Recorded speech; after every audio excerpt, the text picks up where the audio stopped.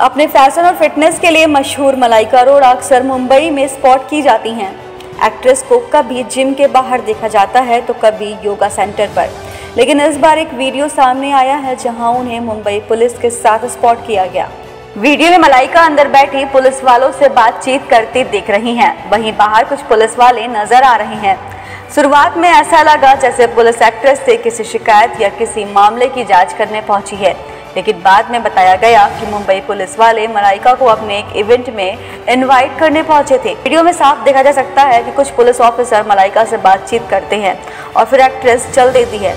अब मलाइका पुलिस के किसी इवेंट में शामिल हो रही हैं या नहीं, ये तो नहीं पता।